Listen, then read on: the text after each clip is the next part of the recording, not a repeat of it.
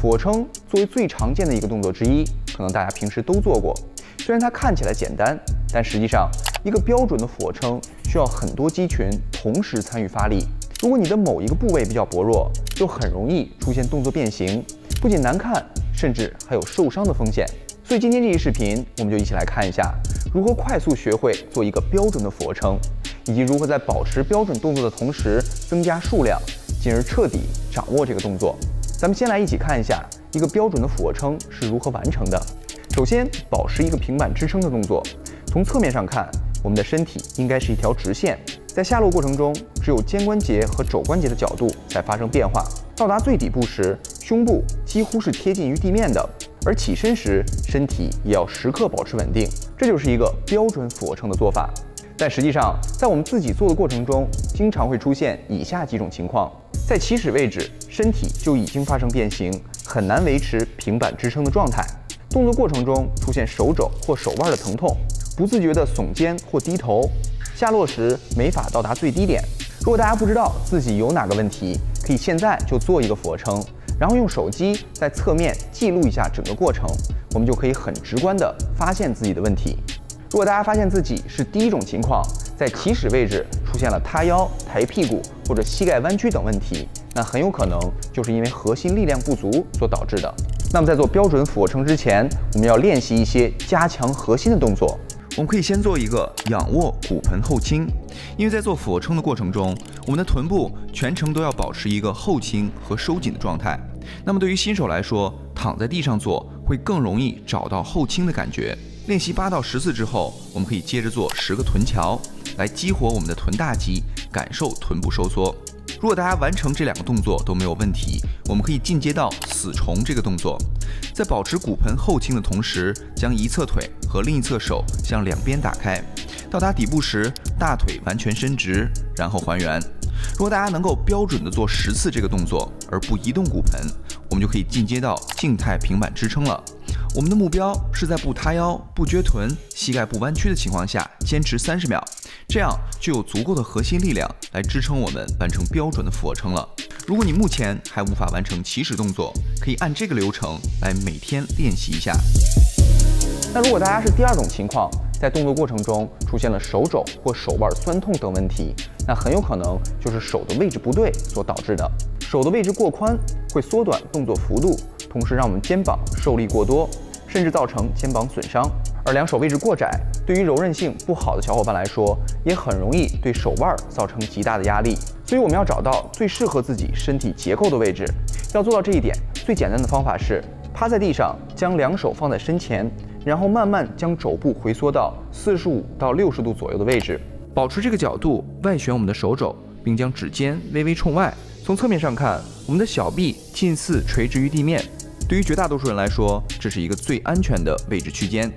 同时，为了避免肘部压力过大，我们可以用脚尖着地，而不是脚掌，并且在动作过程中以脚尖为支点，让身体以一个弧形来进行动作，这样既安全，也会对我们的胸部有更全面的刺激。而如果大家在动作过程中出现了耸肩或低头等问题，那么很有可能就是我们的下斜方肌力量不足或没有参与发力所导致的。那么在做俯卧撑之前，我们要先激活一下它。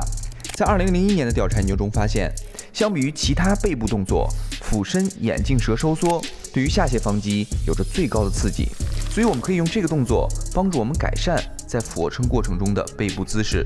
首先，掌心向上趴在地上，然后向上挺胸的同时收缩我们的背部，保持这个姿势，外旋手掌，并向下后方发力，持续五秒，然后还原，总共做五次。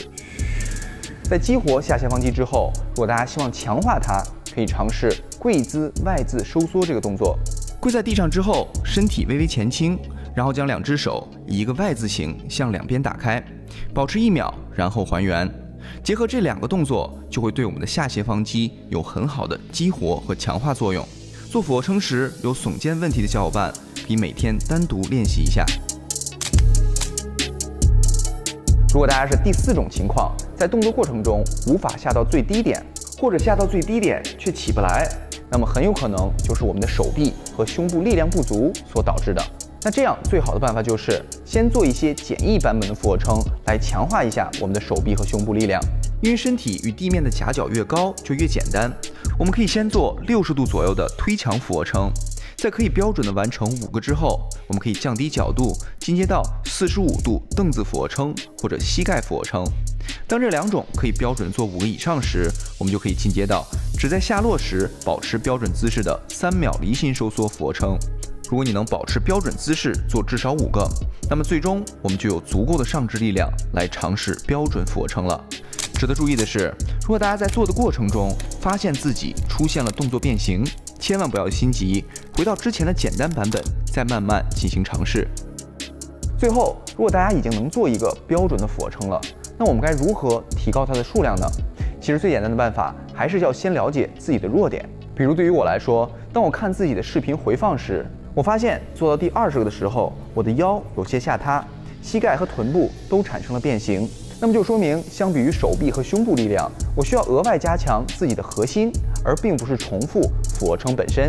而相反，如果大家发现自己是因为力量不足所导致的动作变形，那么我们可以通过增加负重的方式，比如弹力绳或者背包，来提高我们的难度，进而增强手臂和胸部力量。当我们每次都以一个标准的俯卧撑来要求自己，你会发现，也许以前自己可以做二十个，现在只能做七八个了。但没关系，对于训练来说，质量要远远大于数量。好了，以上就是今天视频的完整内容。如果觉得对大家有所帮助的话，不要忘了点个收藏哦，这样方便将来反复使用。在学习任何动作之前，我们都觉得自己不可能做到，但其实只要把它拆解开来，发现自己的弱点，并一步步攻克它，也许突然有一天，你就会发现自己，哎，也能做到了。我相信大家只要勤加练习，也能很快掌握俯卧撑这个动作。那今天视频到这里，咱们下期再见，拜拜。